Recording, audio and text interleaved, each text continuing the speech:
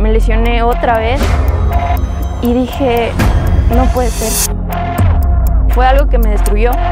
Tampoco era bien visto que una mujer juega al fútbol. Y mi reto, cuando ya me recuperé anímicamente, fue volver a la selección del Ecuador. 11 líderes dentro de la cancha. Fortalezcamos la idea de que ningún jugador es tan bueno como todos juntos. No importa si eres o no eres deportista, el deporte te transforma.